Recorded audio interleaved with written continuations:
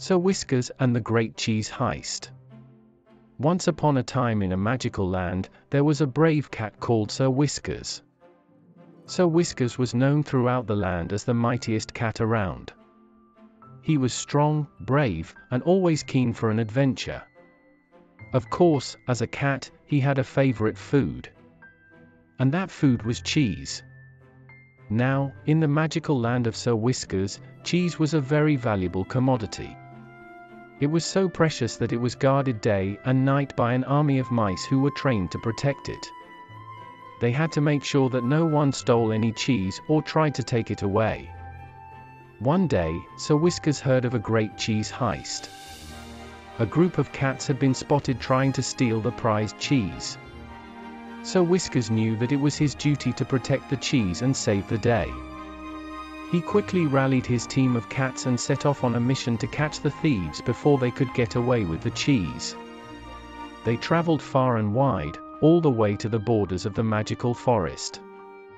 There they found the thieves skulking in the trees.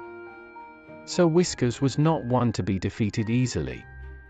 He bravely jumped up into the trees and began chasing the thieves. One by one, he caught them and sent them running back to their homes. But, even as he caught them, they all chuckled and said, You'll never catch us in time. Sir Whiskers knew he had to act fast if he was going to save the cheese. He called to his assistant, a small kitten called Tinker, to bring his magic flashlight.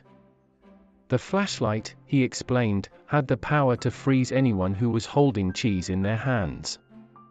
Tinker arrived in no time, and Sir Whiskers quickly used the flashlight on the last thief, who was holding a piece of cheese.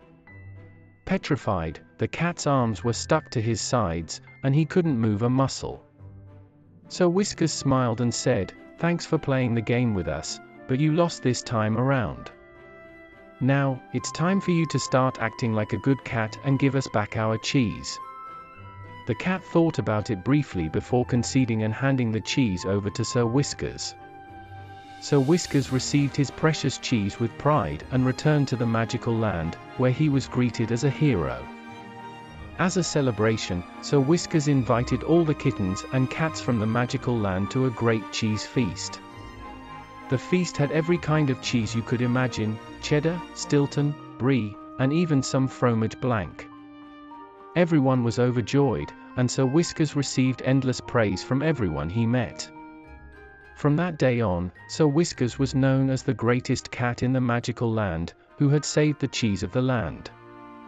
He was proud of his adventure and always remembered that he had accomplished something great. But above all, he held cheese even closer to his heart, cherishing every slice or wedge. And whenever he ate a piece, he wore the biggest smile on his face. The end.